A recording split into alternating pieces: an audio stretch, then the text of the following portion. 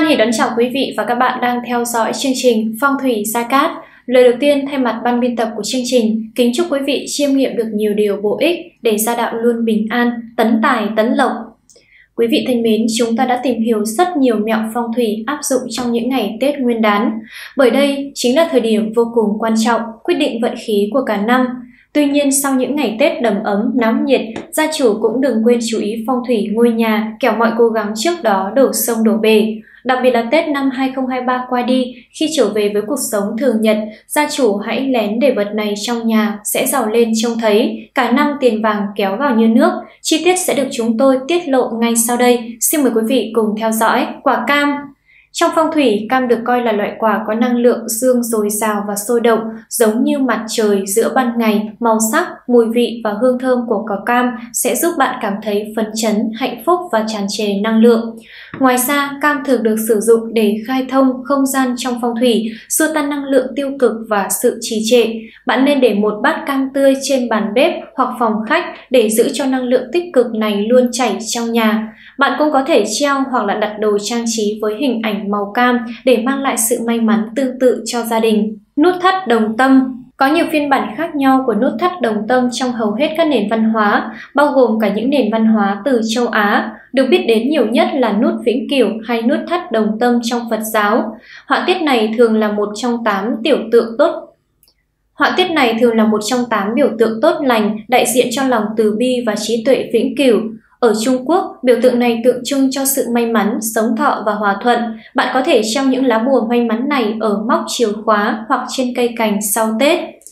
Phong bì màu đỏ Trong văn hóa Trung Quốc, những món quà bằng tiền trong những dịp tễ Tết thường được bỏ trong phong bao đỏ. Màu đỏ là một màu là tượng trưng cho tính mạnh mẽ, tượng trưng cho năng lượng sống dồi dào, tích cực.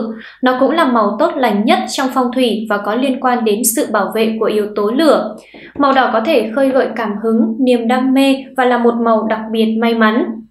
Tiền xu Tiền xu của hoàng đế là một biểu tượng đại diện cho 10 hoàng đế trong thời nhà Tần của Trung Quốc và kho báu của hoàng gia. Chúng được sử dụng như một lá bùa phong thủy may mắn để mời gọi sự giàu có và thịnh vượng từ các nguồn chính đáng. Đặc biệt là bạn nên để những đồng xu này ở nơi dễ thấy nhất, như gần lối vào nhà hoặc bàn làm việc của bạn. Bạn cũng có thể đặt chúng ở một khu vực nhất định của bát quái, phong thủy, tùy theo chủ ý của mình hoặc phía sau ghế bàn để hỗ trợ trong sự nghiệp. Các ngậm thìa vàng Cóc ngậm thìa vàng là một vật phẩm phong thủy được nhiều gia chủ sử dụng. Cóc ngậm tiền vàng biểu tượng cho tài lộc, may mắn và bình an, được xây dựng trên hình tượng cóc ngậm tiền là một con cóc ngậm một đồng xu, hai bên sườn đeo hai sâu tiền cổ. Trên lưng có những nốt sần, đặc biệt là những đồng xu được xếp dưới chân cóc. Hình ảnh con cóc thường ngậm đồng tiền xu trong miệng tượng trưng cho việc cóc mang vàng vào nhà. Ngoài ra còn là biểu tượng của thần tài, của sự may mắn về kinh doanh và tiền bạc. Thêm thư chuyên dùng trong phong thủy ở những khu vực tốt để tăng cường tài lộc, nó tượng trưng cho sự hạnh phát tài lộc, giảm thiểu rủi ro. Gia chủ có thể đặt cốc phong thủy ở bàn thờ thần tài hoặc dưới bàn đằng sau chiếc ghế dài trong các khu vực kín đáo để mang lại may mắn. Chúng ta không nên đặt cốc ngậm tiền vàng ở dưới bếp, nhà tắm hay nhà vệ sinh sẽ khiến cho cốc nổi giận và làm cho vượng khí xấu đi, ảnh hưởng không hề tốt cho cả gia chủ và tại gia. 6 là đặt nguồn nước theo phong thủy. Nước có khả năng mang lại sự thịnh vượng, nhiều người có chung thắc mắc là chỗ nào tốt nhất để đặt nguồn nước hòn non bộ. Theo phong thủy, nơi phù hợp nhất để đặt nguồn nước là gần với lối ra vào nhà bạn. Vị trí này có thể đặt ở trong hoặc ở ngoài, nhưng nhất định mạch nước phải chảy qua trung tâm của ngôi nhà. Điều này cũng có nghĩa là sự thịnh vượng chảy vào trong nhà bạn. Quý vị thân mến, bên cạnh những vật phẩm phong thủy trên, hiện nay rất nhiều gia chủ ưa chuộng đặt cây phong thủy trong nhà. Xét về mặt phong thủy, có những loại cây rất tốt nếu mua về trưng trong nhà vì đó là những loại cây có ý nghĩa tốt lành, thu hút tài lộc, giúp gia chủ may mắn và giàu có. Nếu quý vị cũng đang có ý định mua một vài loại cây phong thủy, hãy tham khảo phần tiếp theo của video ngay sau đây. Xin mời quý vị cùng theo dõi. 1. Cây ngọc bích mang đến nhiều tài lộc đây còn được gọi là cây thường xanh, đặc tính của loài cây này là dễ trồng, đặt một chiếc lá xuống đất ẩm là mọc thành cây. Cây này tượng trưng cho tuổi trẻ vĩnh hằng. Ngọc bích có lá hình trứng nhỏ như là đồng xu và mọng nước. Do là loài cây nhỏ nên là ngọc bích thuộc hành kim, tùy thuộc với hướng Tây hoặc Tây Bắc. Nếu đặt cây ở hướng Đông Nam là khu vực tài lộc thì năng lượng kim của cây sẽ xung với năng lượng mộc của hướng đó. Quan niệm từ xưa bởi các thương gia cho rằng ngọc bích có khả năng mang lại tài lộc, vì vậy loài cây này thường đặt bên các quầy thu ngân hoặc là máy đếm tiền.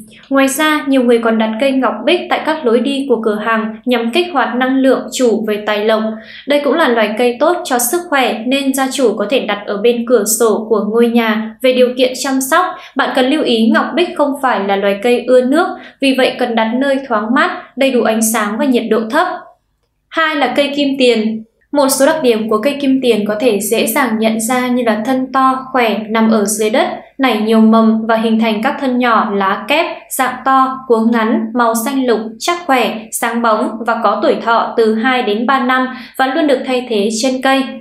Chính nhờ những đặc điểm tự nhiên đó mà kim tiền được nhiều người ưa chuộng, còn được gọi bằng cái tên cây phát kim phát tài. Kim tiền sống khỏe, phát triển nhanh trong môi trường tự nhiên, thậm chí có thể trở thành loài cây có bóng sâm. Nhiều người buộc lên cây những cây sợi chỉ đỏ hoặc là đồng tiền vàng với mong muốn phát tài, phát lộc. Kim tiền đã trở thành một loài cây phong thủy được ưa chuộng nhất hiện nay. Tuy nhiên, khi sử dụng loại cây này, bạn cần chú ý chọn những cây có thể chạm vào khả năng sinh trưởng tốt, thân cây xanh tốt, phiên lá đẹp, dần chắc. Nếu có thể, hãy chọn những cây đã nở hoa sẽ giúp mang lại nhiều lộc cho chủ nhà. Khi bày trong phòng nên đặt về hướng đông, đông bắc để đón tài lộc. Ba là cây phất dụ. Phất dụ là loài cây đem lại may mắn bởi nó tượng trưng cho ngũ hành. Bản thân cây chính là mộc, nơi cây sinh sôi là thổ, nguồn nước và dinh dưỡng cho cây lớn lên là thủy. Chậu cốm trồng cây chính là từ hỏa. Nếu dùng chậu bằng kính sẽ là đại diện của kim. Theo quan niệm dân gian, người ta thường mua phất dụ theo cành và tuân theo những quy luật sau. Hai cành cho tình duyên, ba cành mang đến hạnh phúc, năm cành đại diện cho sức khỏe, tám cành mang đến tài lộc, chín cành đem đến thời vận cho gia chủ.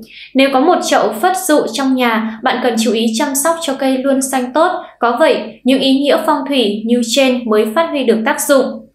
4 là chúc phú quý. Thật thú vị như tên gọi của nó, loại cây này là biểu tượng của sự giàu sang phú quý. Thân cây trắng, sắc hồng, lá màu xanh điểm xuyết trắng, kết hợp độc đáo viền đỏ, tạo ấn tượng về sự xa hoa đài cát. Loại cây này đặc biệt ý tưởng với môi trường kín và có thể sống ở nơi ít ánh sáng, không gian hẹp, thậm chí ở môi trường máy lạnh thường xuyên, cây vẫn xanh tốt. Ngoài ra, cây còn giúp gia chủ mang lại sự thông thái, tập trung tinh thần, cải thiện trí nhớ. Nhìn màu sắc cây sẽ mang đến sự tươi vui, linh hoạt cho không khí gian nhà của bạn. Thêm nữa sẽ rất sang trọng nếu bạn bày trí một chậu cây này một cách gọn gàng ở phòng khách sẽ giúp bạn kích hoạt được vận may tài chính cho gia đình. Năm là cây đại lộc. Trong phong thủy, loài cây này được tin là sẽ mang lại nhiều may mắn cho gia chủ. Cây đại lộc còn được gọi là cây phát tài do cách đọc của người Hồng Kông, đại lộc đồng âm với phát tài. Trong phong thủy, đây là loài cây mang lại may mắn cho gia chủ, không chỉ mang đến không gian tươi mát, tràn đầy sinh khí và năng lượng tích cực, đại lộc còn giúp gia chủ gặp nhiều may mắn trong cuộc sống, mọi sự đều thuận lợi và suôn sẻ. Cây mang lại tài lộc, may mắn, sức khỏe, thành công cho người trồng. Theo chuyên gia phong thủy, người mệnh mộc trồng cây đại lộc thì sẽ gặp nhiều may mắn, tiền của dồi dào, cuộc sống giàu sang. Quý vị thân mến, với những loại cây phong thủy trên, chúng không chỉ giúp ngôi nhà tăng tính thẩm mỹ mà còn hỗ trợ vận khí, thu hút tài lộc và vận may cho gia chủ. Nếu quý vị có bất kỳ thắc mắc hay ý kiến đóng góp, xin vui lòng bình luận bên dưới video, chúng tôi sẽ giải đáp trong các chương trình kỳ tới. Quý vị đừng quên like, share video và đăng ký kênh để tiếp tục đón xem những thông tin phong thủy tử vi hữu ích. Xin chào và hẹn gặp lại trong những chương trình tiếp theo.